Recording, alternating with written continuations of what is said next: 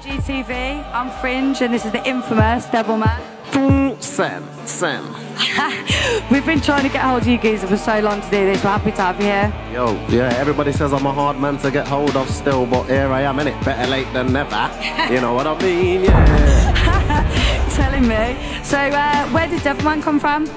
Well, originally it came from one manga cartoon back in the day, still some Chinese manga called Devil Man, You get me? Type it in on YouTube, yeah. And then I just thought, yeah, man, that's a sick name, and I started writing bare devil lyrics and that. And then I just started to turn it into some comedian thing. So that's where it come from. Not no devil worshipping thing. You get me? Fuck all that. You know what I'm saying? Boom, set, set. Fuck that. Okay, so uh, Chinese tale. What kind of place were you in to write those lyrics? Right about now, 'cause I've always been brought up watching them kung fu films in it. So fucking, I was just on a mad kung fu one. I pictured myself on the top of a mountain with them long fucking clothes on, yeah. Opposite my opponent, you get me? And I was like, you dare to challenge me? Even my long tongue pie chung thing, now you belong to me. You know, one of them ones screwing up my face like one of them. yes. So, uh, what inspired you to MC So Dirty? Fucking hell, life itself, innit? Everything in life's dirty, you get me? You wear your boxers for two days, they get dirty. Socks for a day. Talk about yourself, innit? Everything's dirty, bruv. Nothing's really clean. You get me? Your, your car's dirty right about now. As clean as you think it is. so that's why I spit dirty. You get me? Everybody likes it. Because I'm a dirty bastard. That's uh, that's my next one. Are you a dirty bastard? I don't know, man. Everybody's a dirty bastard in their own way. You get me? It depends on how you want to fucking look at it. You get me? Everybody's a dirty bastard. Everyone loves fucking getting their stuff. You know what I'm saying? I don't want to go too deep.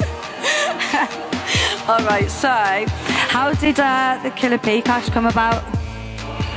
Yo, fucking hell, caught me off guard with that one there, to be honest. Well, obviously, nah, you know what, Killa's my bedroom, you get me? Obviously, Webster, Full Force, the whole organisation, we're all bedrooms and that's still.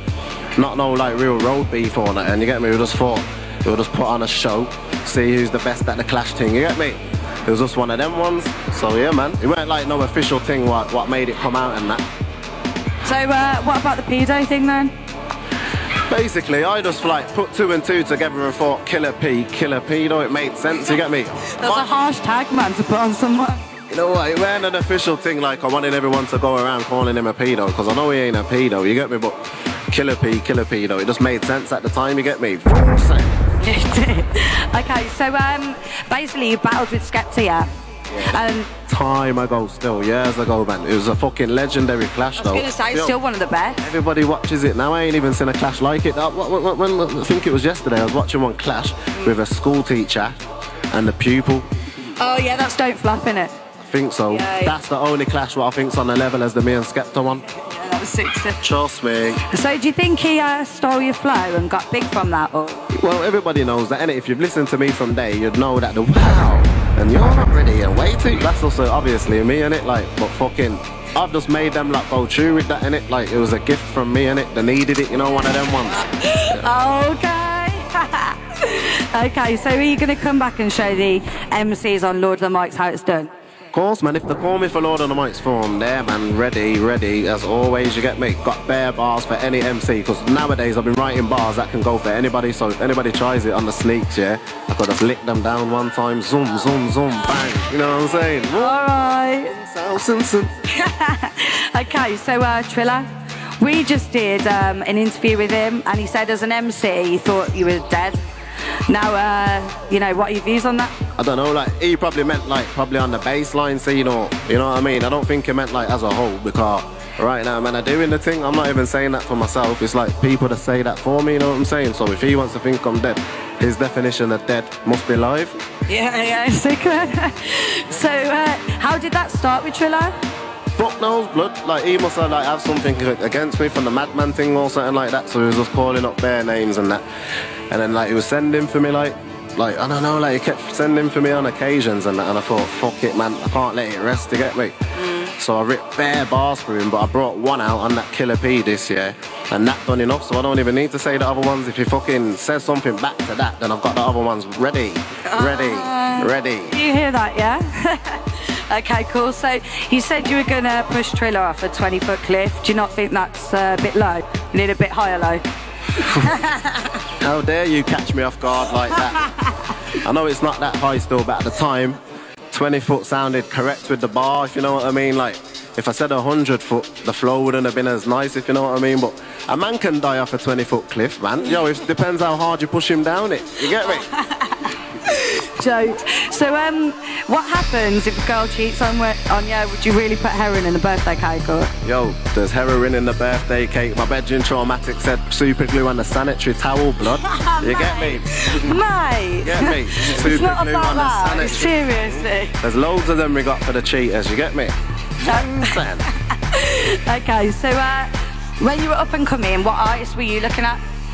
to be honest, I- I've got to say, like, bass man and that, the drum and bass days, Yeah. Trigga and all that, and then, like, the rap, hip hop, like, Americans and that, Mm. them kind of things there. But other than that, I never really had any idols as a young guy. You get me? Yeah, yeah. So, um, what advice would you have for up and coming MCs? Just do your thing, you get me? Think out the box, don't sound like anyone else, and just don't give a fuck, you get me? If you're scared to say something, don't be scared. Just say. Wong say. Simple. Simples, right. So, who are we looking out for at the moment in your eyes? To be honest, all I can say is like the Element family, you get me Skinnigans, Traumatic, fucking just pure, yo, there's pure MCs running it right now, man. I don't even want to mention names, cause bare MCs are gonna be like, how could you never pick me up, rare, rare, rare. But there's bare blood, you'll see. When you hear my mixtape that's coming out real soon, you'll hear the new talent, you get me? Cool, cool. So, um, who's the shittest overall, bar Killa P? Wow, I, I, I ain't even got the fucking the authority to say that shit there. You know what I'm saying? Like, if mans think man's shit, then it's shit. You get me? I think everybody's good as long as they're doing their thing. But couldn't really say who's the shittest overall because there's bare overall shit guys. You get me? It's just like long, like. mm, Cool. So, who's your favourite and who would you want to work with? fucking hell, you caught me off guard again, my bread trick. That's what we do. You know what it is? There's nobody that I want to work with, but if somebody comes and says, yeah, let's do this thing and it sounds good, I'll do it, man. I've collabed with bare people, strange people, famous people, ugly people, everybody, man. You get me? Fuck it. Yeah, man. Okay, so we've got to the quickfire round. Fucking So, hell. yeah. Uh, you ready for this? No, no, still, but Yeah. Okay, let's go. You know what you're doing, yeah? no. Okay, so I'm saying two things. You got to pick one of them. Like, It's a fast thing. Black and white, I say. Yeah, yeah, black and yeah, white. Yo, that's simple to me. Okay, yeah. You think it is, but all right, let's go. Bring it on. Yeah, Rihanna, Nicki Minaj.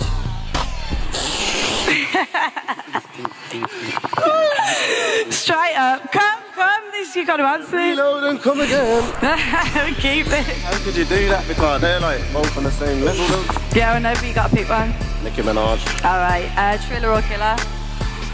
Killa. Birmingham or Wolverhampton? Birmingham. Grime Daily or Grind Black?